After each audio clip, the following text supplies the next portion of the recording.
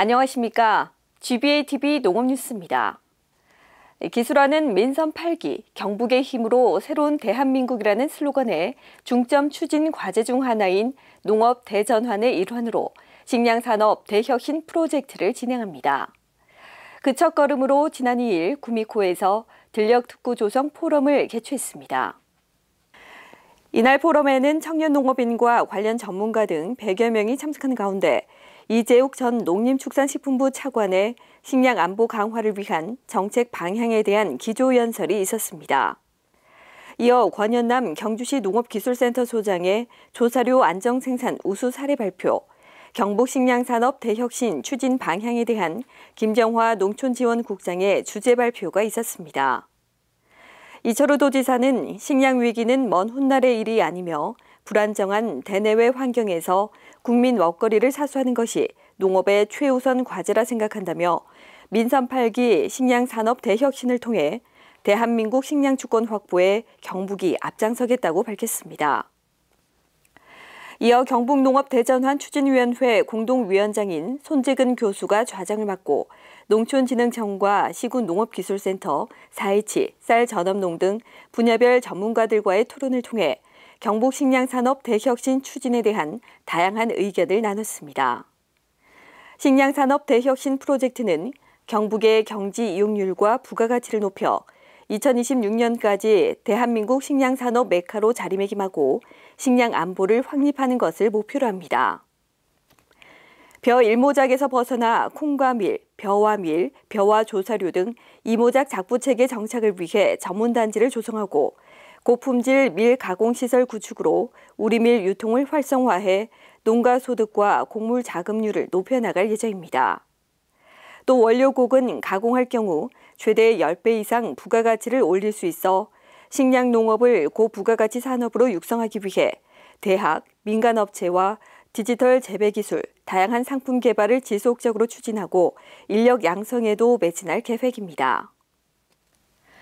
기술화는 최근 도내 농가의 농업기계 고장으로 인한 불편사항을 덜어주기 위해 통합 전화를 개설하고 경북 농업기계 긴급수리 119 콜센터 발대식을 가졌습니다.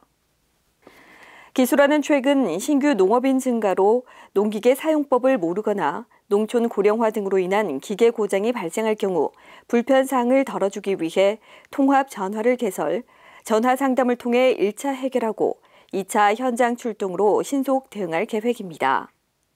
문경과 칠곡, 예천 등 3개 시군 농업기술센터에 대해 우선 시범으로 운영하며 장기간 고장으로 방치돼 있거나 사용하지 않은 농기계는 접수되지 않습니다. 지역별 대표 번호는 농업기술센터로 연결되며 원하는 서비스를 받을 수 있습니다. 기술화는 시범 운영을 통해 농가 호응도와 만족도 등을 조사한 뒤 향후 20개 시군으로 확대 시행하며 농기계 현장 점검, 사용 현황 파악 등을 통해 일손 부족 해소와 기계화 영농을 촉진시킬 계획입니다. 기술화는 참외 산학연 협력단과 공동으로 지난 30일 성주군 농업기술센터에서 참외 산업 경쟁력 향상을 위한 고품질 참외 생산 경영 관리와 품종 선택 세미나를 개최했습니다. 이번 세미나는 참외연구회 회원을 비롯한 참외재배 농업인을 대상으로 최근 기후변화, 인건비 상승 등 어려워지는 여건 속에 참외 생산 기반을 강화할 수 있도록 우량 품종 선정과 농가 소득 증대를 위한 방안을 함께 고민하기 위해 마련됐습니다.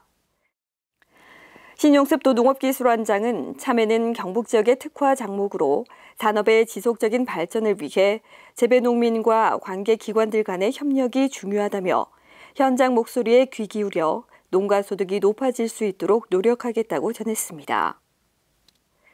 세미나는 농업기술원 홍나경 박사의 경영 기록을 통한 효율적인 농업 경영 방법, 참외 육종 회사들의 참외 신품종 소개 등 최근 농업인들의 주요 관심 사항으로 구성돼 참석한 농업인들의 큰 관심을 이끌어냈습니다. 다음은 농업기술원의 간추린 뉴스입니다. 안동생물자원연구소는 잦은 강우로 곰팡이의 원인이 되는 시드름병과 탄저병, 바이러스병 등 마에 발생하는 병해 피해 확산이 우려된다며 발생 초기 즉시 병든 잔존물을 제거하고 적용약제로 방제할 것을 당부했습니다. 기술원은 최근 성주참외과체류연구소에서 시군농업기술센터 담당자를 대상으로 고품질 딸기 육성을 위한 화분화 검경 검사와 실습 교육을 마련해 전문성을 높였습니다. 영양고추연구소는 최근 경북 북부 지역 152곳의 고추재배 농가를 대상으로 8월 생육 후기 작황을 조사한 결과 생육은 부진하고 바이러스나 담배 나방 등의 발생이 증가함에 따라 지속적인 약재 살포 등 수확이 끝날 때까지 철저한 관리를 당부했습니다.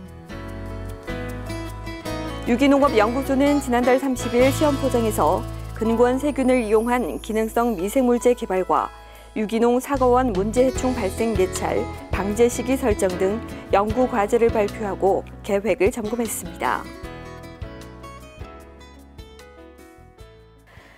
식습관의 변화로 쌀 소비량이 30년 전에 비해 반토막이 나고 쌀은 남아도는 데 반해 밀 등 다른 곡물은 80% 이상 수입에 의존해 수급이 불안정한 실정입니다.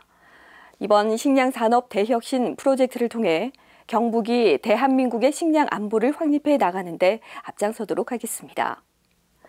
이상으로 GBA TV 농업 뉴스를 마치겠습니다. 고맙습니다.